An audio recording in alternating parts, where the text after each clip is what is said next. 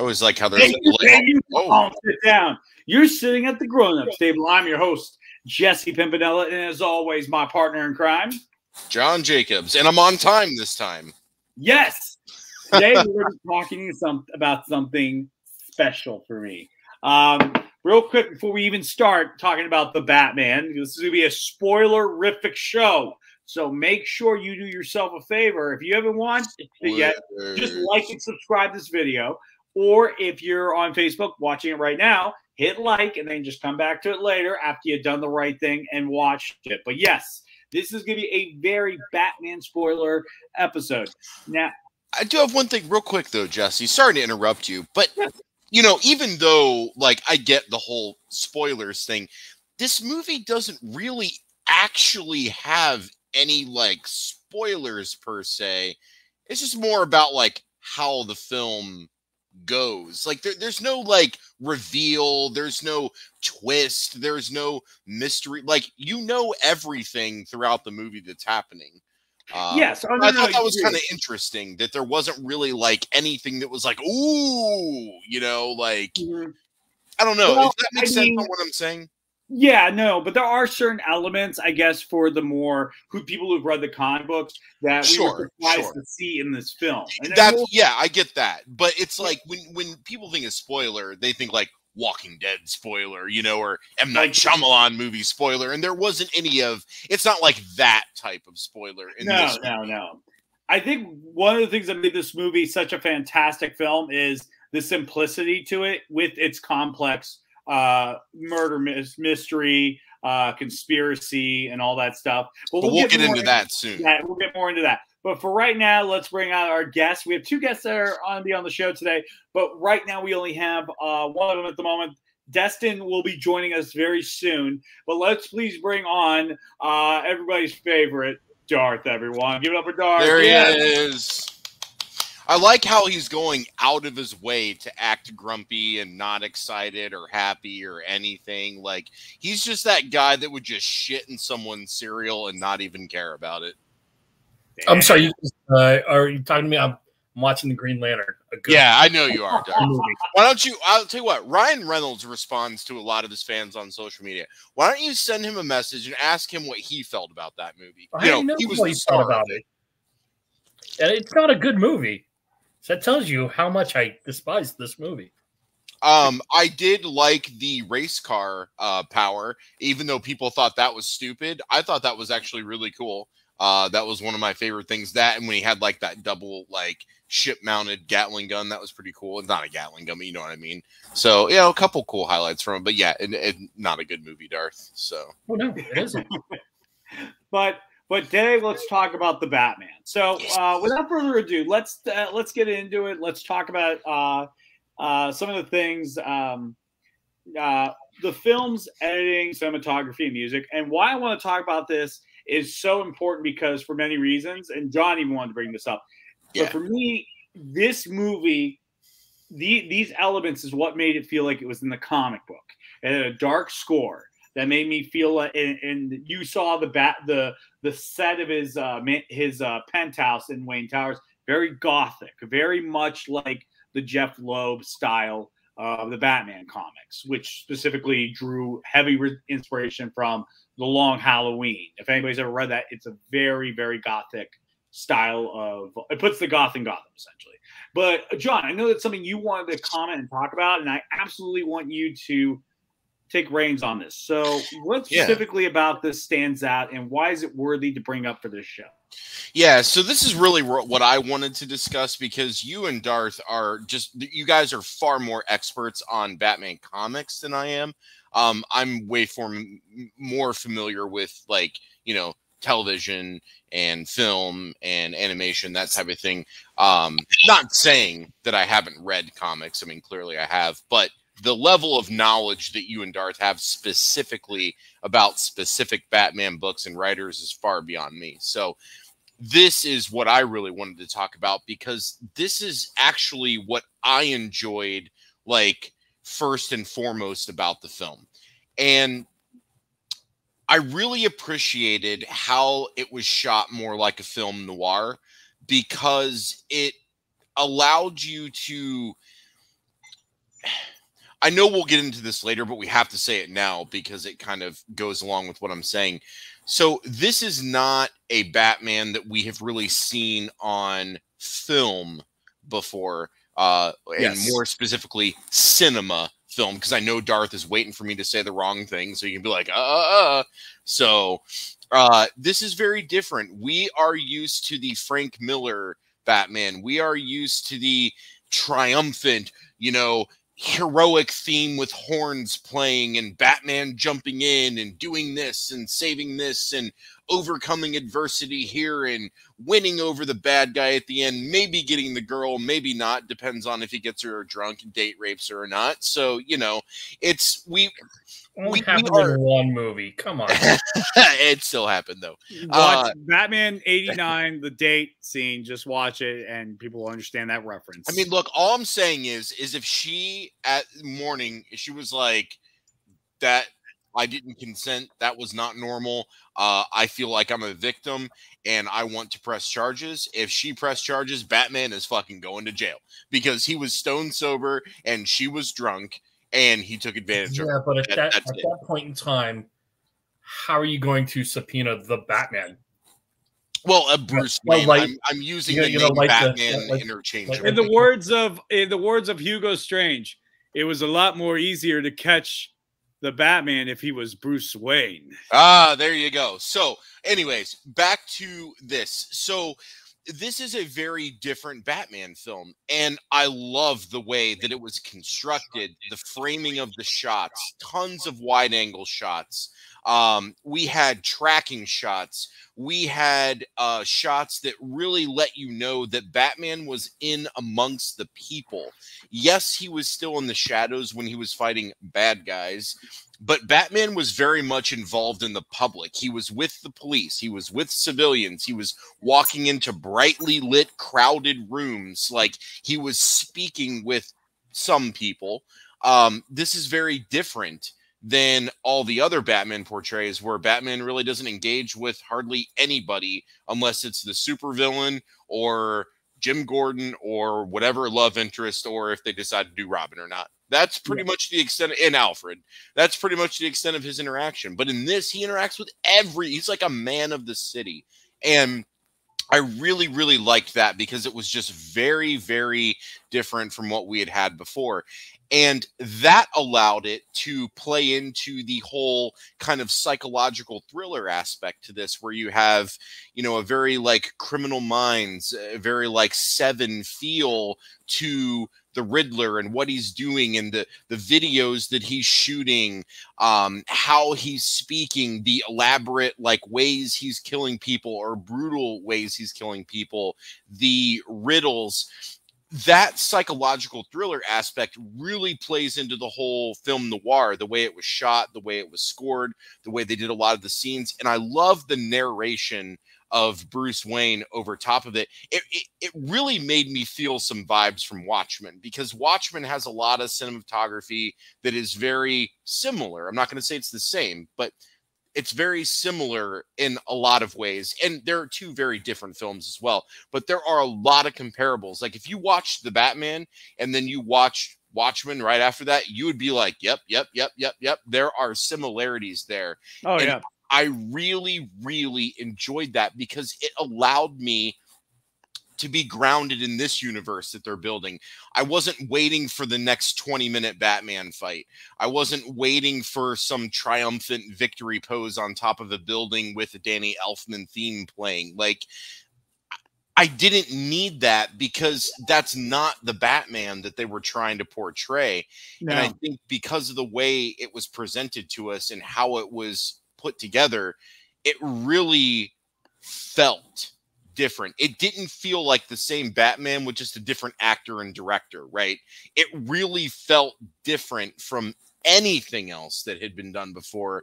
And that is really where I connected the most with the film was more on the technical aspects in the filmmaking and the construction uh, because I really appreciated what they did. And you could tell there was a lot of time and effort put into building that film once they shot it. And Mhm. uh, I I just can't compliment it enough for what they were able to put together in that retrospect. Yeah. No, I absolutely agree. I mean, th- that's what I believe made it so much like the comic books. So I'll keep my thing short because I want to hear Darth's input. The the monologuing, that's right from the comic book. Most of those little monologue, there's like a lot those square bubbles, which are you know what the characters are thinking. All Bruce. Those are all Bruce and Batman talking. Uh, yeah, this was a detective story, and you're right. This is Jeph Loeb's Batman. This is not the Frank Miller's is more the action hero Batman, where it's more like Commando. But with this, with this Yeah. one, it's a little bit more sophisticated. It's Yes. Commando and Seven put together. Because I mean, the two wanted to work hand in hand, uh, Frank Miller and Loeb, because uh, you know, the- spirit the Long Halloween storyline is somewhat of a spiritual sequel to Frank Miller's uh, Year One because this goes out of its way to say this is year two. So that's what makes it such an interesting thing. Now, Darth. Now, before I bring Darth on real fast or talk to Darth, uh, I want to bring up our guest that just joined us, uh, Mr. Oswald Cobblepot How you doing? Iceberg Lounge. There he is. There he fucking is, right there. And he got the monocle. I see. Good job, Destin. Thank you so much for joining us. After Uh, my so last this is right scuffle now- with the Cape, Cape Crusader, I had to buy a new one. So Can you So give us a quick penguin honk, real quick? Oh wow, take it easy, sweetheart. Take it easy. Um, Very good. Oh shit, that's so good, man. I love it. So, so Darth, uh, before we move on, I want to get get, uh, get your guys' quick review of the Batman, and uh, give us a quick thirty seconds just so we can uh, jump into the bigger details. that I know all you have opinions upon. So, Darth, what is your take from the Batman? Hated it. No, Plain, plain and simple. I thought it was a horrible movie. I wanted my three hours back. now, Um, now, why why do you yeah, feel that you way? need to. You really need So- to Elaborate with us. Why, Darth? It's okay you didn't like it, but you really. but only elaborate in thirty seconds. Still, I was keeping it short and sweet. You guys told me to keep it short and sweet. I'm keeping it short and sweet. So that's been more than 30 seconds. I just did not enjoy the movie. There were parts of the movie that um, I know I talked to Jesse after we saw it Yeah, um, that took me right out of the movie. And it took a while for me to get back into the movie. And then they did the same thing over again, which just took me right back out.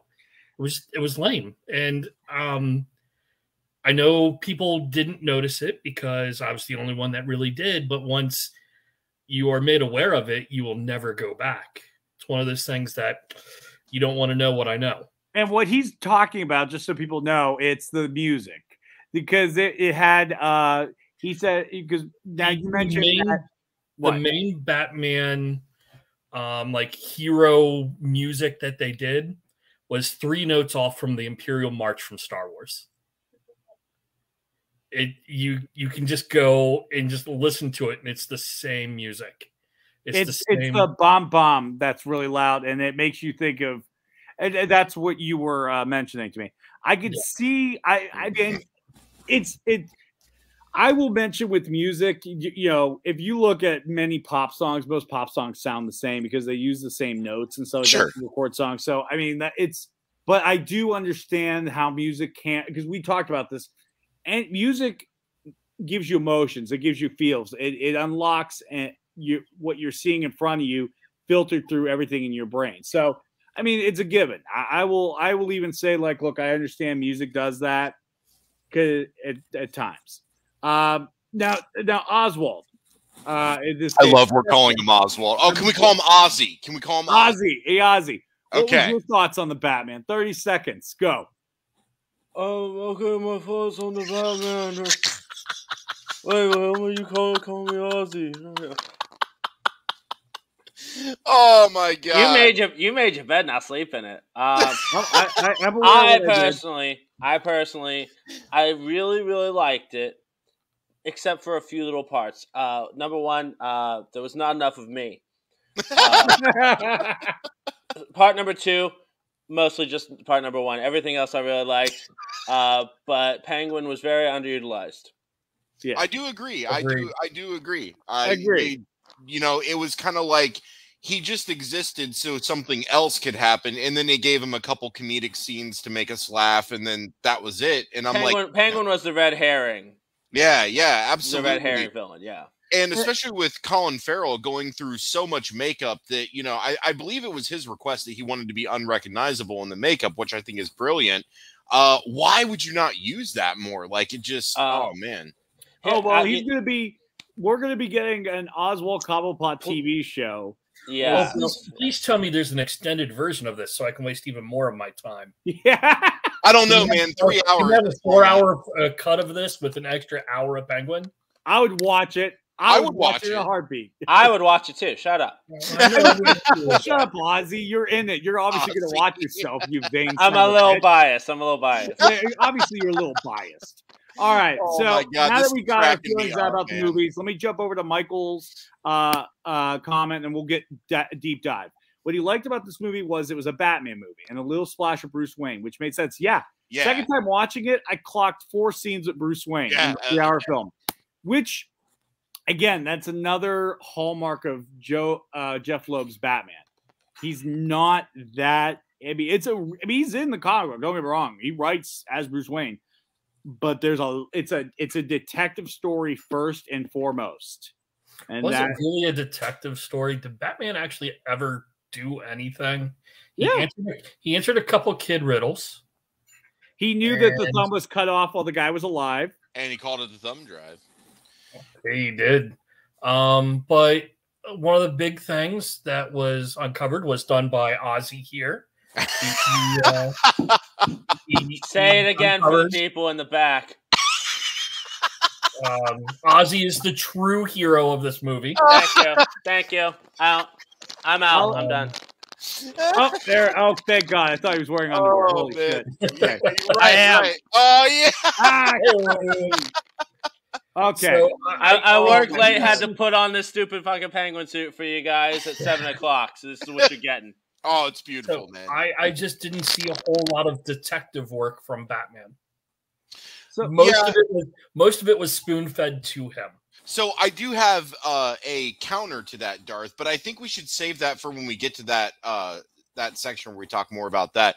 This is more about like the structure of the film and everything. I just don't want to jump segments. If we're ready to move on, Jesse, let's go ahead. we're ready move to move on, so we can actually talk about this. So let me give Yeah. a couple backstory.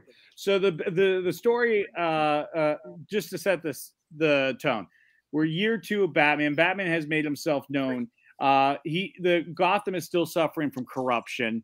Um, he's still he's he doesn't he's not really Batman to the way we know him.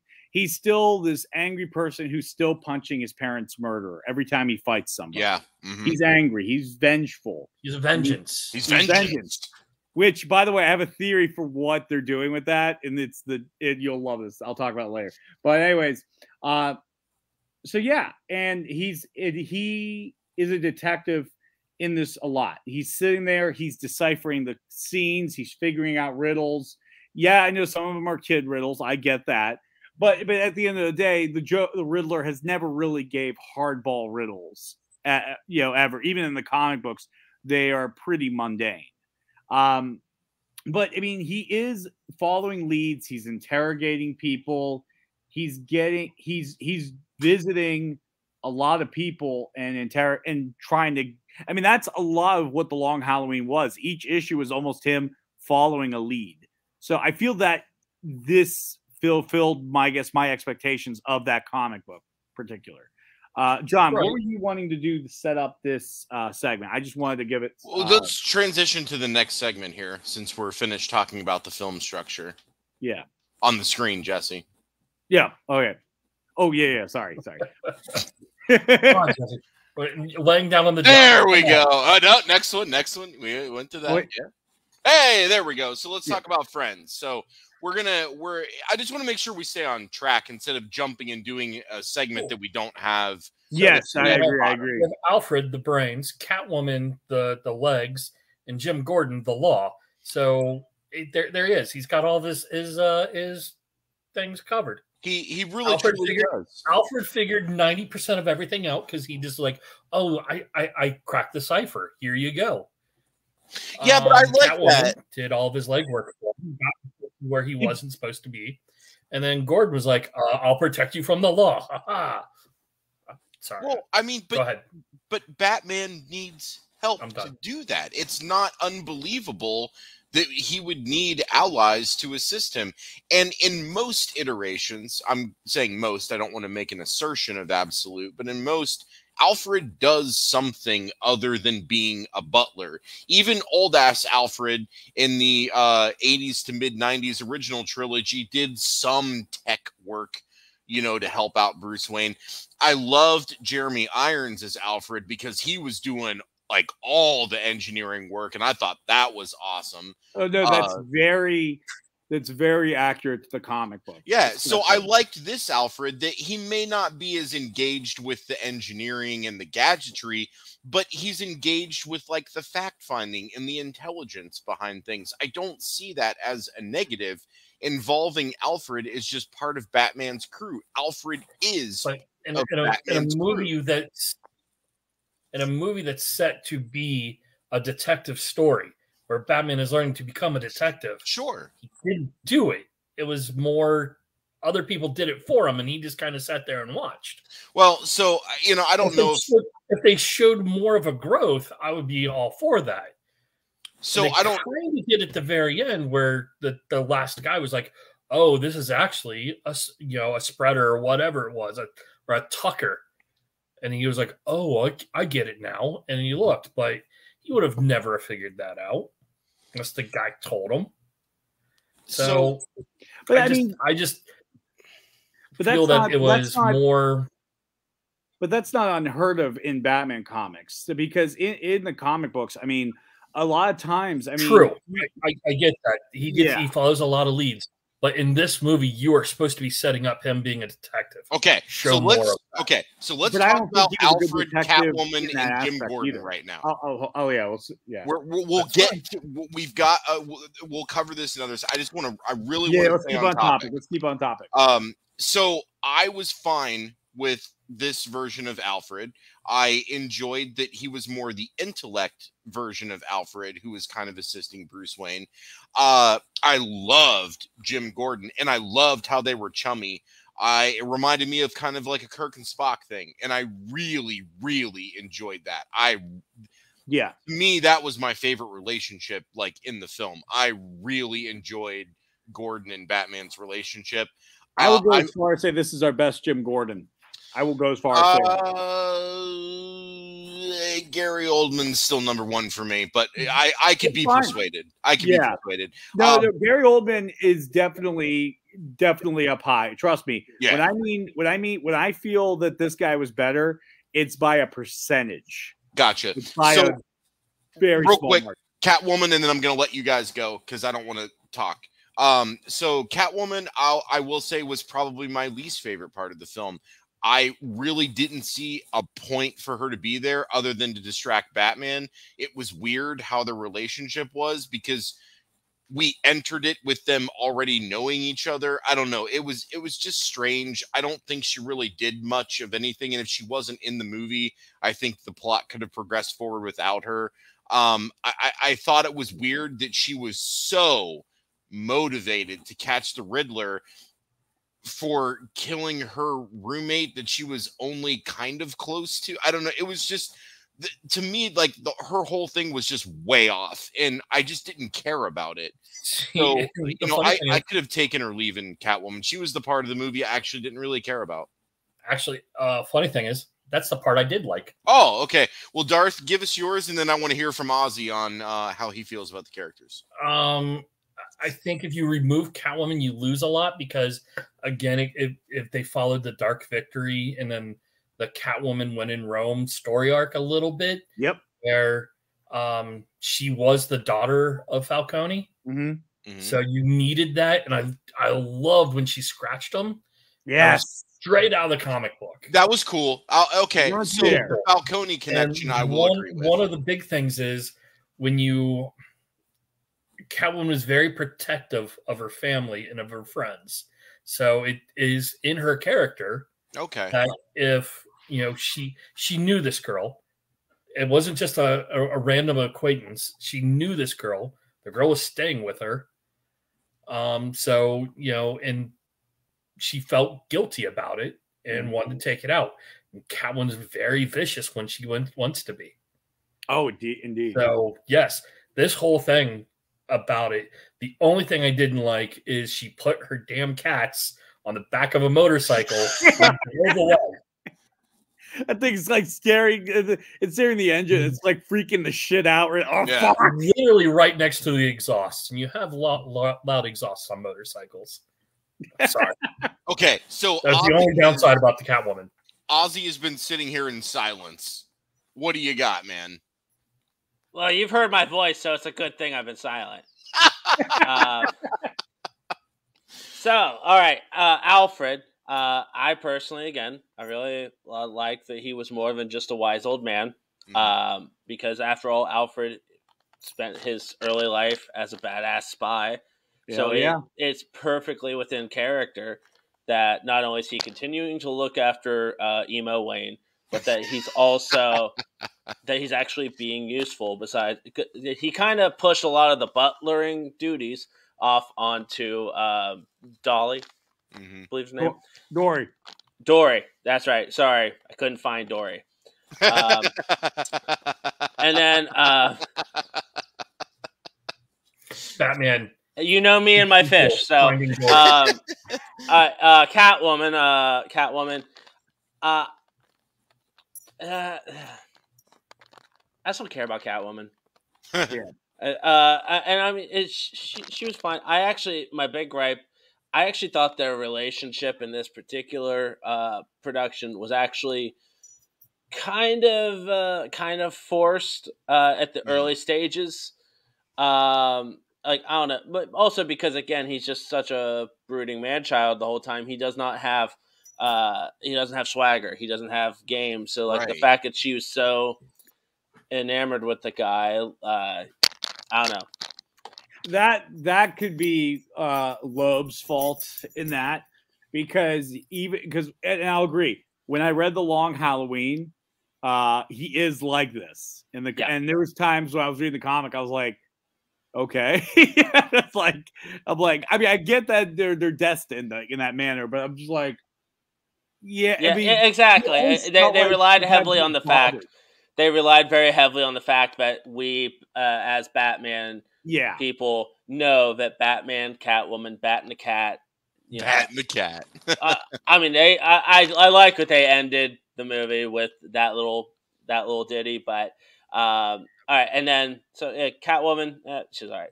Uh, Jim Gordon, uh, no no complaints about Jim Gordon whatsoever. Yeah. Uh, actually, well, no, no, I I do take that back. I do. Oh, In this particular movie, the GCPD is still just way too okay with the relationship of Jim Gordon and, and Batman. Like they see that they're like, "Oh, your guy, he's a vigilante. That's against the law." They shouldn't be that okay that Jim Gordon and the Batman are just going on a crime scene. especially with how young in his career it is. Exactly. Like he he's only Okay, just okay. recently. Yeah. He's only he, they, they only know They- about him a little bit. Like he, They- they, they- should they know that he is. He's been around for two years. They Exactly. mentioned that multiple times to make sure that you are aware. He's only been doing this for two years. He's been doing this for two years. Hey guys, did you remember? Did you hear? He's been doing this for two years. yeah. Now, real quick, I want to uh uh, uh Ozzy, I want to drill down on something that you were talking about with the relationship between Batman and Catwoman. Um and you also brought up emo Bruce, which I absolutely love. And I'm going to say it several times. R-Pat completely nailed this role. I loved him in this role. Mhm. So, do you think that, and we're only speaking on the context of this universe in this film based on what we were shown, okay? But do you think that perhaps Catwoman and Batman have an attraction to each other because they are both kind of doing this vigilante thing? Meaning that if it was just simply Selina Kyle and Bruce Wayne, would they have the same chemistry versus Catwoman and Batman having their chemistry? I love that you're approaching this like the Ben Folds the luckiest. Uh, it's a bit of a deep cut if people don't know Ben Folds, but um, no, I yeah, I have to agree. If uh, emo Wayne actually left the manor and actually like went to a nightclub, ran into Selina Kyle, uh, especially given Selina Kyle's line of work, probably not, uh, because she's a she's a nightclub worker, uh, exotic dancer, bartender, yada yada. Um, so if they see countless du- countless dudes going in there thinking they're all that. So it would be nothing to them. But so yeah, it kind of I think she's way more attracted to the mask hmm than the man under it. Yeah, I think so too. It looks like we're all head nodding on that. It looks like Yeah. we all agree. Well, And because he looks like a leather daddy, been. and she's probably into some really kinky stuff. So. uh, Darth, what did you just say? And then let's go ahead and move on to our much. next topic. pretty much um, the way it's always been in any kind of incarnation of of the bat and the cat is it's she's they're both attracted to the other suit Yes. Now, in Batman Returns, though, they were also attracted to each other outside of the suits as well. right Selina and Bruce were attracted. Catwoman and Batman were attracted. And then when they figured out who they were, they were still attracted. So it was like total package with them, which is a part of Batman Returns I Well, I actually mean, really liked. look at both of them you know michael keaton or as i like to call him kiki is uh, is uh is super dreamy and michelle pfeiffer come on now Was Yeah. was Yeah. Kiki dreamy in 1991 though when that movie came out? oh yeah he was Was he really? I, f- I feel like Keaton passed the uh the dreamy stage after Mr. Mom, man. When Wait. he, got, he made Batman, he was already getting a little tired. So what about Keaton being past the dreamy stage? Michael I mean, Keaton did you is the see him man. in the vulture exactly. I, I I I would say he's more dreamy now than he was back then. I think he looks awesome, a little bit older with the like short hair and shit. So I mean, I'm just saying. a little gray a little Yeah, a little touch of gray, man. I think w- w- specifically with uh Keaton again, that's a different iteration of like I said, like with Frank Miller's Batman, he was a lot more uh pageantry in that sense, being the playboy. So give it a good example. In year one, Gordon kind of starts to deduce that Bruce is Batman. And he makes a bullshit reason to go to Bruce's house for this police charity. We need some money and stuff like that. And comically, Bruce walks down the stairs in an open robe with two Scandinavian models hanging around. He sits down in front of the Gordons. His he he spread the eagle legs, and they see his junk. And and you know, Miss, Mrs. Gordon's very offended. Eventually, they leave, and she goes, "What a disgusting human being!" And Gordon replies, "You bought that." Ah, yeah. Gordon always the one thing that's very interesting about Gordon, he purposely stays one step behind of figuring out Batman's identity in the comic. He does it because if he knows, it puts him in a rough situation with the Sure. law. sure. But if he's always purposely one step behind, he gives him this plausible deniability. yeah, no, So- I- just just like how Lucius Fox was. So Oh yeah, like- yeah. um talk about that the uh, comic book uh, No Man's Land, where Oh, yeah. Bruce Bruce just takes the mask off in front of him. Yeah. Gordon turns around and says, "Put it back on." I don't, I don't want to know. Yep. So, yeah and that and that and that is a very and that that goes into a great theme of identity and stuff like that that uh is built so much into the batman which we might get a piece of because with this movie it did set up no man a version of no man's land in this case which we have seen numerous times in adaptations dark knight rises the gotham season five be, uh, ending of season four so we are getting a version of that. So it's quite possible we might get that scene eventually, which I think with the dynamic that these two have, the chemistry, which uh, you know, um, uh, Mike agrees on. Yeah, I think we're going to see that in this upcoming film. I, I definitely want to see that. Jesse, let's go ahead and wrap up this segment and move on to the next one. So yeah, uh, just to wrap up, I feel that each of these characters were very specific to Loeb's version of these characters, which I thought was a breath of fresh air to see. Uh, because, like I said, if you're gonna re if you're gonna make another reboot of the Batman, give us something new. And I think character wise, from this angle, they gave us a lot new, even with these villains, especially uh, Riddler, top to bottom, different character entirely. Um, you know, they gave us more of a Zodiac killer vibe that has been kind of teased and played with in the Arkham games, where he's kind of this jigsaw character, still an obnoxious prick when he talks, but but but more this like traps and such. Penguin, they finally fleshed him out as being this nightclub guy who owns the Iceberg Lounge. And I'm so interested in seeing the TV show, so I'm very fascinated by how well they got Ozzy down. And Falcone and the corruption, beautiful. Again, as Darth said, they they they hinted the they used the Dark Victory storyline. He's Catwoman's father. Um, and I, and I, I just thought, and and I loved the one thing about Falcone I absolutely love is when they retold the small little story from Long Halloween where Thomas Wayne saves Falcone's life. I did Yeah. like that. I really liked how they Beautiful. tossed that in there. So like that. Beautiful, so beautiful. You know they understand the comics, but but but that but I, I- enough of me. How about you guys? What were So- your thoughts on these characters? So, real quick, uh, I, I, I, I have to know from Ozzy, Ozzy, are you satisfied with your portrayal in this film? Yes or no, and why? Um. I, all right. Well, it's a loaded question. It is a loaded question on. So. I'll, I'll I'll break it down. I'll pull back the. Uh, I'll start by pulling back the uh, the latex here. So Okay. Colin Farrell himself. Yeah. He he is a, a a great actor who I've only seen do his worst movies.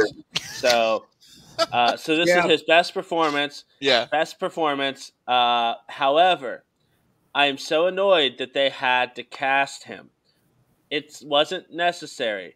There are plenty of actors out in Hollywood that look like me that were born to play the Penguin. But no, they had to hot wash Penguin.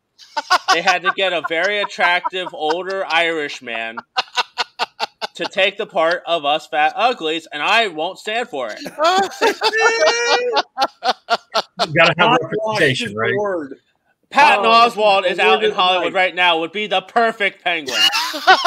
Jon Lovitz would be the perfect penguin. I, I would pay good money to see Jon Lovitz as the Penguin. I'm Oh, just gonna God, yes. right now, man. I would. Only I would only want Jon Lovitz only if he does the dialogue from Little Nicky. Well, Who is he, it? he would It's a have to be horny, more. it's a horny bird who wants to see your mother naked. if it was Jon Lovitz as the Penguin, he would have to be doing the Burgess Meredith Penguin. That's the Oh, only way it would Oh, work of course. is, is if he was doing that. No, Uh, I want a very serious, very dark portrayal from Jon Lovitz. Oh, Yeah. you mean like I Danny wanna- DeVito, where he just had black shit coming out of his mouth the whole No, time? I want I want just a serious role. I want to show that he has acting chops and this be his coming out and becoming a serious actor. I'll Okay, say dude, h- I him, love him, him watching him watching everyone lose their minds and him just reaping the benefits. Yeah. As the curtain slowly closes in front of his face. and the Oscar for Best Supporting Actor goes to John Jon Lovitz. Lovitz as Penguin? I'm thinking of All, the all of a sudden, movie. pigs pigs are flying everywhere. Hell freezes over because those words were said. I'm thinking of the end of the Entourage movie. I don't know if you guys saw that, where the end the, the idiot brother wins an Academy Award or a Golden Globe. He's like, "Holy shit! You got to be kidding me!" it was a great, it was a great ending to the to the series and to the movie. So But to, to, to truly answer your question, though, I had I had to get that whole why the hell did they have the cast Colin Farrell? But other than that, it still it was it was it was good. I liked it. Um, and I'm not just saying this because I'm fucking dressed up like Penguin either. There just needed to be more of him. I agree. And last question for Ozzy, real quick here, related to Penguin. Okay, Which, because I know you are like the biggest Penguin fan ever, uh, clearly. So, out of all of the on-screen Penguins, so not from books or literature, on screen, number one, which is your favorite and why? uh, Burgess Meredith. Yeah, I gotta agree, man. Yep, yep. Yeah, in that case, th- i- i- very few times am I like, yeah, it's the OG. But no, Burgess Meredith is is my Penguin. My my least favorite is Danny DeVito. Um, Hmm. But it's also because, uh, much like uh, Sam Raimi with Venom, uh, Tim Burton just didn't understand Penguin. Yeah. Uh, and I mean, he's admitted to that after the fact. We all saw that he didn't. Uh, it just made him a, a freakish monster, and he's not that. He is. I love Penguin because he's kind of like always meant to be laughable. Mhm. Uh, he's always kind of like the the go to villain for campy. I mean, I know they said that about Riddler until we got the Twitch streamer incel in this movie, but but I love I love that. By the way, uh, I I, I do. I- really I, love that. but I really did love Paul Dano in this movie. Again, Colin Farrell did fine. I would say, uh, yeah, of, of, as far as the live action Penguins go, uh, actually, I don't know, because then there was the guy in Gotham. I can't remember his name. You know, Ah, I didn't like- really care for Gotham, but he did a good job. I know. he, oh, he was the, in my opinion, he was the best part. And again, not I agree. biased, or, but um, Yeah. I just can't remember his name. But I mean, I, I like Penguin in this. I just I I can't wait to see more Yeah, for the obvious reasons too. But sure. And I think that the series will be really good as well. I'm looking forward to that. So before I ask Darth about what his favorite foe was in this film, I gotta say John Turturro knocked it out of the fucking park as Falcone. Holy shit, man! Perfect. What what a treat and a surprise. Oh my god. Like I already love the guy's entire catalog anyways, but this was Yeah, just going- oh, Going from was the director of way big. Sector Seven to being Falcone, yes, please. oh yeah. Yeah, it was just fantastic, man. I don't I didn't want him well, well, I guess we already did a spoiler warning. I didn't want him to die. I was upset he got shot. I'm like, what? Really? We're doing this in the first movie? Holy shit. Like I really wanted him to stay on for a little bit longer. You know, I mean I get it, but His his storyline is over. I mean, I get that, but I just like I, I like him and I like his character. So I just was Yeah. upset when he got shot and I mm-hmm. realized we weren't gonna see him again. Yeah. I felt What? for the guy. Uh, Sal Maroni is still out there. You never know. We might get a Sal Maroni, but it, it, it seeing him go was rough because, like, but they were, like I said, they were following that storyline. I get it. I get it. But yeah, I agree. No, John Turturro, he Wow. You don't understand. Like, go look at Long Halloween and look at an image of Falcone. It's shocking. It's really good. Cast. So like like I understand the whole the, the whole character of Falcone. He has to be uh not very present. Uh but again, it's like I understand why he wasn't a bigger part uh, of screen time. But again, you, you get Turturro and uh he I just wanted more of him. Yeah. and I get was- why we didn't, but I just wanted more. Yep. And that was the challenge of trying to do a movie that was very much like the comic books, because the comic books are very episodic. So you're only getting like spotlights of all the characters, and that and that is and that's something you know. Because, but I see the reason why I like that so much is because, in my opinion, we have not had a Batman movie about Batman since 2005's Batman Begin. Where I'll agree, but I would even argue Batman Begins wasn't necessarily about Batman. It was more about Bruce Wayne not only getting his own redemption, but then evolving into. haven't oh Batman. yeah, yeah, yeah, haven't had a I- I- Batman centric Batman movie since Batman '66. yeah. Come I on. mean, some days you just can't get rid of a bomb, Darth. So Yeah. you know. Well, what I mean is, and, and John, I'm so glad you brought that up. That clarify uh, that clarifies it. But it's it, it is about that growth. You're absolutely right. What I and what I'm saying that is because you look at movies like uh, The Dark Knight. At the end of the day, your first thought when you think of The Dark Knight is the Joker, and the first thought Batman Rise, you you think of Bane. And then and then Batman versus Superman was more of you know a, a movie where we're trying to bring it together. It wasn't really a focused movie on Batman. So that's why, like, for this movie, I felt like it was about him going from I'm vengeance, I'm vengeance. And then he sees what vengeance really is. It's what the Riddler is. And he realizes, no, no, no, no. I got to be better. I have to be, right. I got to be hope for Gotham. I got to be something more. And and that's what I felt was really good about this movie. And don't get me wrong, I'm not saying that the villains' performances weren't spotlight. Hell, they brought their A game, and like I said, I want to see more. So before we jump into that, because uh, we're getting ready to transition to our next segment here, where we got about 15 minutes left. Darth, in terms of foes, I know you didn't like the film, and that's okay. But of the highlighted ones in this film, which one did you happen to like the best, even if it's still the worst for you, if that makes sense? I feel pressure I don't yeah, know why. Austin's letting you know, I man. Don't, I don't understand. Um, as much as I like our Ozzy, um, it was a th- uh, Penguin was a throwaway character. You could have replaced him with random henchman number seven. Well, I don't know about random henchman, but he could be replaced with ex foe. Yes, sure. Right. Steve from accounting. It could have been him and it would have been the it would have been the same thing. Yeah, it's cool to have a named character and knowing that there's going to be more to them.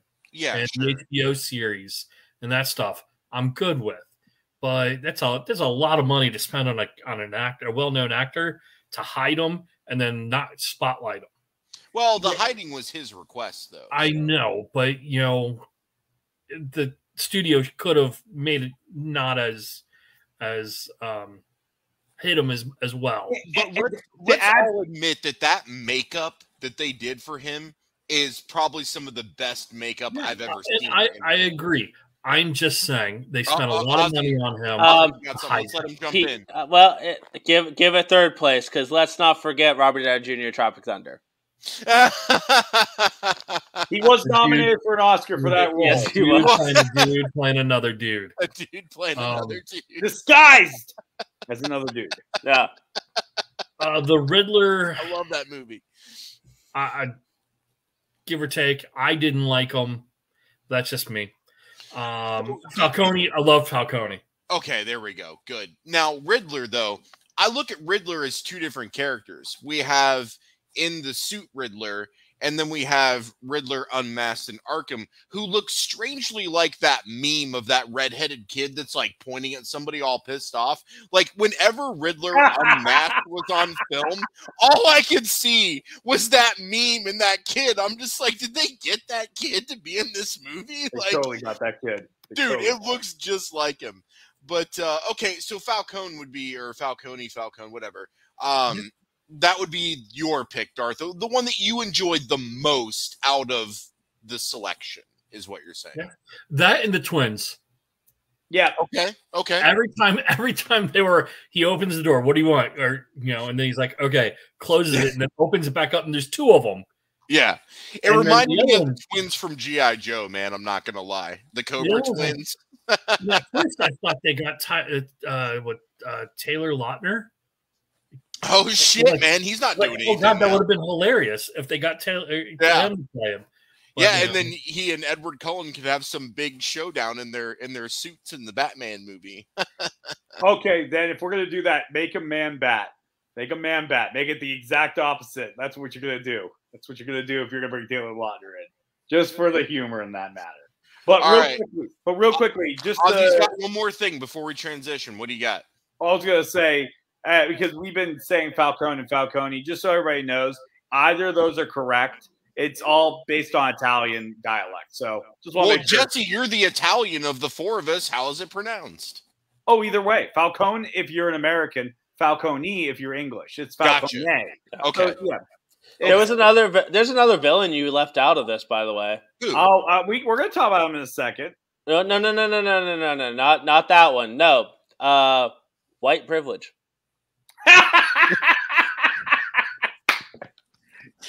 the fact the greatest Batman, villain of all. The fact that Batman lives in this tower and has all these gadgets in like the basement of the tower and has. I mean, the privilege, yes, the privilege. I get that. I just had to love that that woman had to throw in one line of white privilege. She which, did. Drive which that okay home. with her doing because in the yeah. comics and every other iterations, white privilege is a theme in some of the comics. They just never say the word. They never say the phrase. Like Right. some villains will go as far, the ones that know who Batman is, Bruce Wayne, like for example, Hugo Strange, he'll be like, Well, don't you ever blame yourself? Why did you think you knew better to be judge the judge and jury of Gotham rather than take all your money and fund better things and this and that? and that? Like he he throws it right in his face. So but anyways, I don't want to get too much into that because we're running low on time and I want to get to the next stuff Yes. the next stuff I find next- very fascinating. So um, I know we got we're going to talk about Batman too, but we're gonna, but let's talk about some of the quick Easter eggs that I thought were fantastic. And if you're going to go see the movie again, keep an eye out for it. Number one, who here saw the 1966 Easter eggs? I didn't, but I know what they are because I talked to you. Yeah, I, yeah, I didn't see them. I did, and I love the '66 film, so I didn't see them. What was did I miss? There was two Easter eggs. Darth, would you like to give them? Um, well, you had the Shakespeare bust. Where was that at? In the scene right where the bomb was about to blow up in front of Alfred, it's Uh-huh. right. It's right there. Oh man, I totally missed that. Damn. And And number Oz, Ozzy, what was the maid's name again? Dory. And was was there a Dory in the Batman anime or Batman 66 series? I don't think her name was Dory. I gotta But double the- check that. There was there was a, uh, a Marilyn. maid. Oh, no, not Marilyn. Hold on. Yeah, what's her name? Yeah, it's the maid that they keep lying to, even though Alf, which I always found that weird. In the 1966, Alfred knew that Batman was Batman and Robin, but then like they just kept lying to the maid and making like silly excuses, like, "Oh yeah, we're off to doing this." It's I thought that was the aunt. I didn't think that that was a maid. well, it wasn't. No, this was a maid. That was an aunt. I just thought that was a nice little detail that they. put. Oh, okay, gotcha, gotcha. yeah, but I just thought that was kind of. Because it was. I don't know. I, I enjoyed it. in 'cause it- the '66 show. And then Yeah. um, all right. I Um, mentioned the fact that Pattinson was running down the uh, running down a uh, the the wall, The- and it kind of looked like when Batman Yes, and Robin climbed one. up the wall. I, I, I thought that was kind of interesting. That was cool. I Well, you didn't it. see the scene where Burt uh, Burt Ward sticks his head out the window, going, "This looks familiar," and then closes the window. All right, so uh, let's. Uh, then there's this. There's another rumor going around of another Easter egg. Did anybody catch an idea of who could be Ro- the next Robin in this movie? Yeah, there was the uh, the kid wearing the half makeup, Yep. Everybody, there's that word. too. and I think that would make a great. Um, a lot of people are saying Dick Grayson, but I think it would be John's favorite Robin. Tim Drake. Tim Drake, and that could be. And ironically, if I'm, I might be so incorrect to say this, but I think that that same, I think that was the same actor who plays Tim Drake in Titans. I could be very wrong. I haven't researched, so don't hold me to that. But I think it might be the same actor. So that's another interesting thing that is if out we there. only had all of all of information at the tip of our fingers. I know, We do. right? Well, you basically you can see how much I prepared for this segment. So my apologies, everybody. Um, No. Also, sorry. No, I was just gonna say, I fingers crossed. Like, look, you you guys all know me. I eh, very much love the Robin character. Ever since I was a kid watching the '66 series, I just much more preferred Robin than Batman. And I think it's because I was younger and he was Yeah. younger, and I was like, oh, that'd be awesome being a And- sidekick to Batman. And then he grew up and became Nightwing and kicked ass. And I just, I've always, and I've always enjoyed the Robin costume. I like the the yellow and black cape. I kind of like the red tunic with the black and green.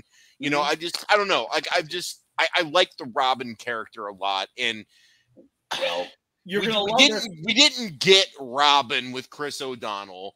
We didn't get Robin with Joseph Gordon-Levitt. So I, I just give me a fucking real Robin in a live action film. I don't think that's asking too much. John, well, you they are already threw down the Blüdhaven uh, geography on us. The Blüdhaven John, you are correct. guy. or Jesse. You What? are correct. It was the same kid. Oh, it was? okay. All right, there we Well, go. that- that- Review. I mean that, that that's that you can't ignore that. That's Yeah. I think that's too much of a coincidence. Well, there there goes me holding out hope that the fact that he started out in a world of crime was a hint that it would be more a Jason Todd Robin, because then that would set up the obviously anti-hero turn that he would take. that with that the would- and with the introduction of Joker, uh, well, ah, shit, spoiled No, that. no, yeah, we will. I, I know that's next on the docket, but I mean, with Guys, Joker coming guys, up, you- that could you know set up the the Red Hood. They're they're So- just going to make this kid Dick Grayson. I, I you know know they they are. I know they are. I know they are. We can but- hope, though.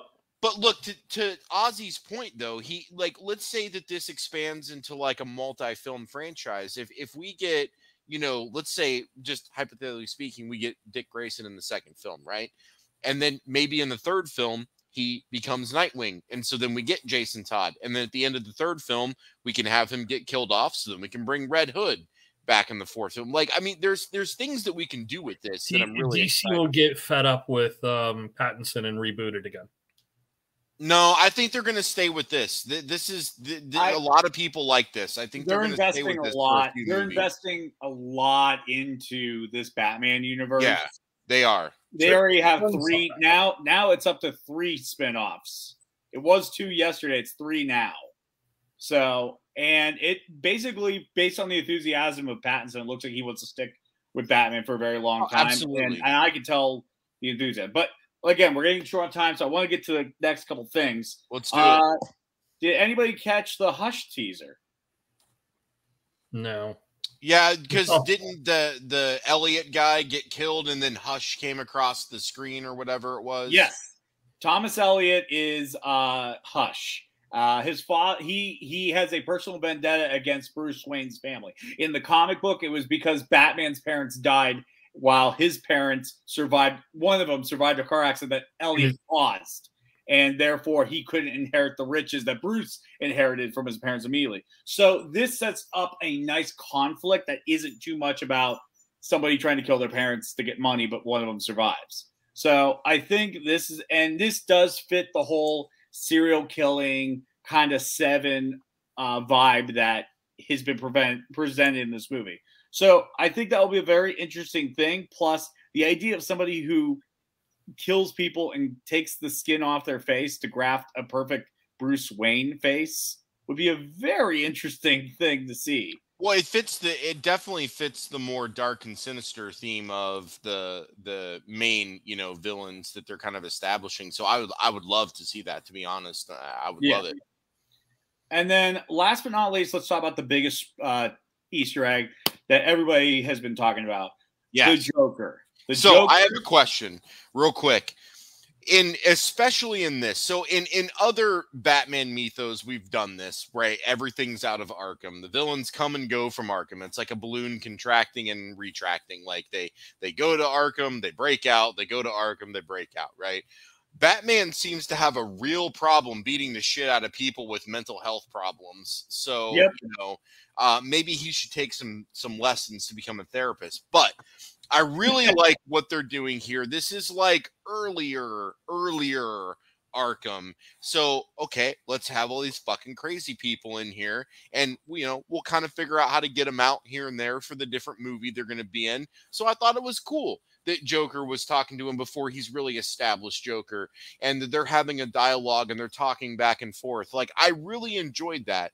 Um, I would have liked to have maybe seen some shadows of some other figures, kind of like how the second Amazing Spider-Man teased the Sinister Six. Uh, I would have liked to have seen a little bit of that. Maybe, maybe we've got Freeze locked up. Maybe we got Mad Hatter locked up. Maybe we got Clock King locked up.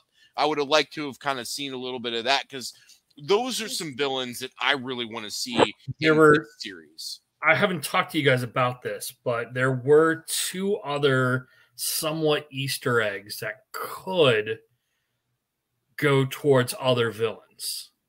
If you Do notice, there was the uh, what was it, negative forty four hundred nightclub or minus forty four hundred nightclub Ah, okay. could could go off of Mister Freeze. Mm-hmm. Yep. Which I Good. would love to see, even though I don't when- think they're going to do meta, but I'd like to see it. And then when um, Bruce was dying Yep. and he pulled out that Yep. vial, Oh yeah, that that wasn't meta. adrenaline. Yeah, That clearly doesn't that glow was Venom. green. Yeah, What Was That was Venom. Venom, Venom, Venom. And when he when he when he jabbed that, I leaned over to my friend and said, "He just shot Venom." yeah, And and, then, then he just my- leapt up and literally my other buddy- that guy. Who's also huge. It was a monster energy drink. All right, I know what it was. leaned over to my the same buddy and goes, I think that was Venom. And the guy who's sitting in between us has no idea what Venom is. He's like, the Spider-Man character? I'm like, no. No, for people that aren't familiar with Venom, that is the chemical compound that gives Bane his super strength in the comic books. And it is a chemical that, in some iterations, is manufactured by Wayne Enterprise. Yep. And let's face it, Wayne likes to dabble in patent technology that his company has. Yep. see, see, I I was gonna bring up the Venom if you didn't. Um, so yeah, I was kind of hoping that that would once again bring the League of Shadows back in, Ooh. possibly like even go, see possibly even go a quarter of. Uh, or I like I like the idea that Riddler, his community, was actually linked to the League of Shadows, so they were actually manipulating him into doing the work of the League of Shadows. That would be cool. I that- was- yeah. That that would follow suit. That would be cool. I like that idea, Ozzy. That would be. I also cool. just want Court of Owls too. If if you could do that to, that also at some point. I think Riddler is aware of the Court of Owls with that owl card that he gave out in Yeah. the beginning of the movie. Uh, it Yeah, I've does, been wanting to see Court of Owls for a while. Court of Owls, for those who do not know, is like the Illuminati of Gotham. So, and Bruce's parents, if I remember correctly, were a part of it or had some sort of connection to it. So, this would definitely fit with the whole idea of, you know, Bruce's parents being sort of fallible in these iterations of Yeah. Batman. So, I, I'm very interested in seeing what they do with that. And Matt Reeves knows what he's doing. But to go back real quickly, just to wrap this segment up, the War of Jokes and Riddles, there's a comic book line where after Joker and Riddler's friendship sours, they, the war goes on between these two for Gotham. So it'd be very interesting to see their friendship blossom and then fall apart in the in these movie franchises, only to end up causing a war. So Yeah. but the the Joker in this, based here's what we do know for a fact from Matt Reeves, the director. Joker has been around. Batman is aware of him. He's not really the Joker that we come to know. He's Mhm. still in his creation, his growth. Um, he has some sort of disorder, like a nervous tic that makes him kind of laugh a little bit like Joaquin Phoenix's Joker. And and I think they're gonna play off the idea that he's very super sane. Like, because one of the misconceptions about Joker is that he's insane. And that's not what he is. He's super sane to the point where he sees the world as a joke. And it in the grand scheme of things, how we're kind of like this like speck of a fingernail of a giant being. The grand scheme of things, nothing matters. So kind of like the comedian. Uh very much like the comedian. Good comparison. Very much like that. So he's very yeah, because like So Yeah, this Joker is still just bombing at open mics right now. That's the stage he's at right a now. bit, yeah, yeah, yeah. I mean, even Heath Ledger's Joker was, in my Oh, opinion, yeah, super that was sane. great. I Bombing never got, I never got insanity from Heath Ledger's Joker. He, He was, was more very of an smart. anarchist. What? He was an anarchist. He, He was just an wanted to watch Yeah. the world burn. Yeah. Yeah.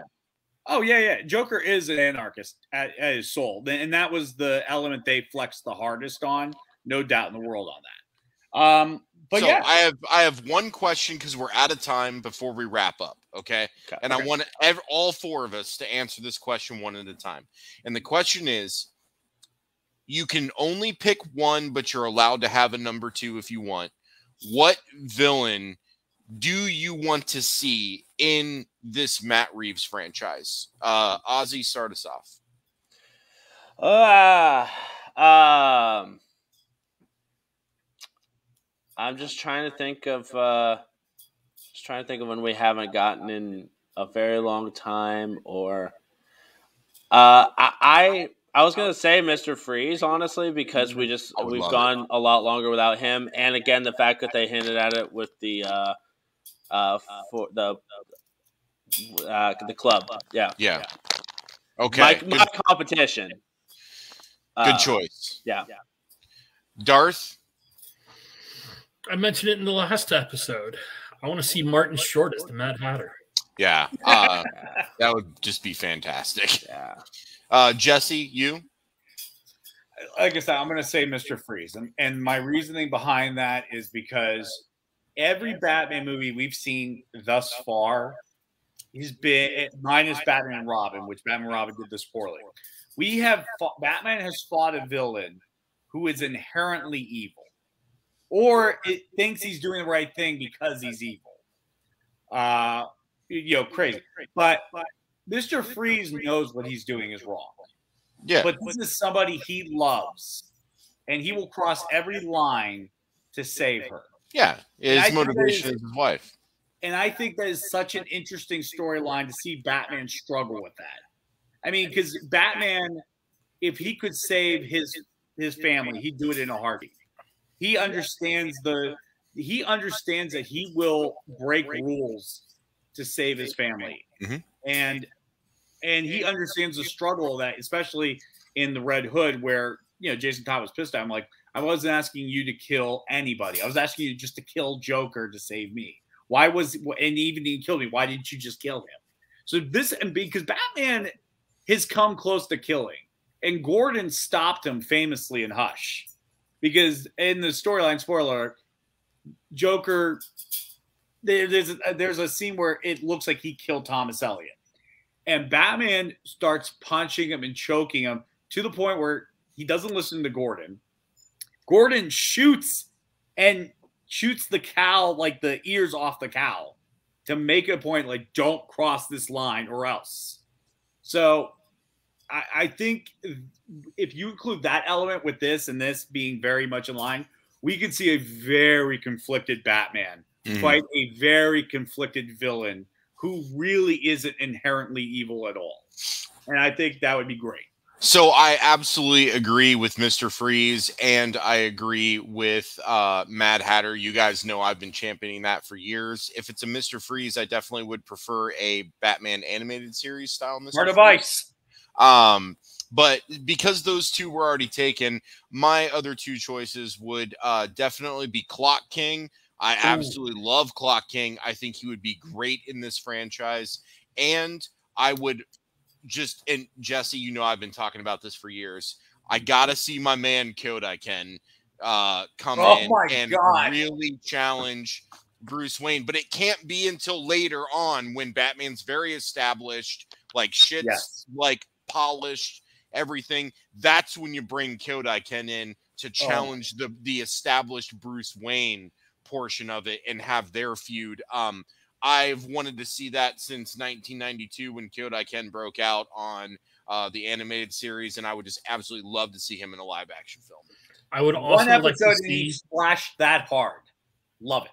Yeah, Um, uh, also, uh, if they do a jokes and riddles storyline uh, in the next movie, uh, I would love to see the Riddler gain the ally of Calendar Calendar Man, and I would love to Mm. see Joker get his greatest ally ever, not Harley Quinn. That's right, Condiment King. Condiment King? I I want to see the, the you know the best Batman villain of all time, the Penny Pincher. We all know it's Kite Man. Stop. One, he's one of the most iconic Batman villains because he he his first thing was to um was the big giant penny that was always shown in the Batcave. yeah, yeah. Yep. That would be cool. Well, well, Hasn't like I said, years. Well, look at it like this: with the DC universe getting as big as it is, and this universe, I mean, this Batman, on a technicality, is part of the DCEU in the aspect that's Earth Two, not the actual Earth that most of the DCEU takes place in. Could change come Flashpoint. Come good change. We're gonna see what happens. I mean, because right now a lot of the movies just got changed, but uh, a lot of the, the newer movies, the release dates just got pushed back. Yeah, they My just delayed uh, Flashpoint for six or seven months now. My guess is they're changing. They're going to add an element where Yeah. Because this Affleck is it is a swan song. Michael Keaton is going to stay in this universe and be kind of this older Nick Fury like Batman.